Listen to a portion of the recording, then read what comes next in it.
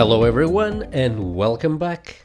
In this lesson we're going to be exploring the material date picker component. Let's start by talking about the multiple output formats of the date picker. It's possible to have the material date picker to output plain JavaScript dates, but this is actually not recommended. Instead, it will be better if we use the material moment date module that is going to be using moment.js that's a JavaScript library that is the de facto standard for handling dates in JavaScript. It's much easier to use than the date itself. This library is a much more practical way of handling moments in time and dates in JavaScript. So we are going to have the material date picker to emit moment.js instances. Let's then start adding the material date picker to our form we're going to start by adding here a new form field. The date picker that we are about to build is a combination of three elements. One is a plain HTML input that we are going to enhance with the material look and feel using the mat input library and the second element is going to be a toggle button with a small calendar and we're going to be adding this icon right after the input field. So this can be done using the material date picker toggle that is going to display a small button. And the last component is the date picker panel itself from which the user is going to be choosing the date. For that we are going to be using the material date picker component. Let's see how we are going to connect all these three elements together. The first thing that we're going to do is we are going to give a name to this date picker panel. We are going to call it my date picker and the hash here means that this is a template reference. This means that we can use this name elsewhere in the template. We are then going to use this template reference to link the date picker to the input box. This means a couple of things. This means that the value displayed here on the input is going to come from the date picker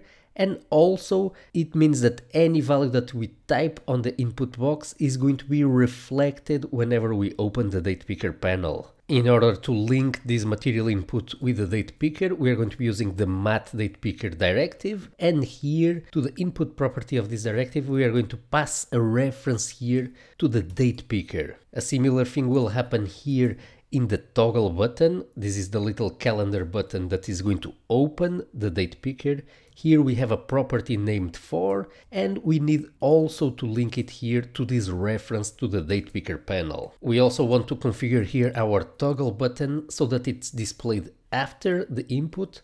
So for that we are going to be setting this property here, mat suffix and we don't need to pass in any value. With this in place, we are almost ready to see the date picker in action. Before doing so, let's quickly link this input field to a form field. So we are going to be using the form control name and we're going to be linking this input to the released at field, which we have not added yet. Let's add it here to our form. So the name of the field is going to be released at and to show that indeed the date picker is integrated with moment.js, we're going to be passing to the date picker an instance of moment which corresponds to the current instant. We are also going to be making this a required field. And with this in place, we are almost ready to try our date picker. Let's just fix here a small typo. This is minuscule p instead of capital P. Let's then try our date picker to see how it looks like. We have refreshed the application. Let's hit edit.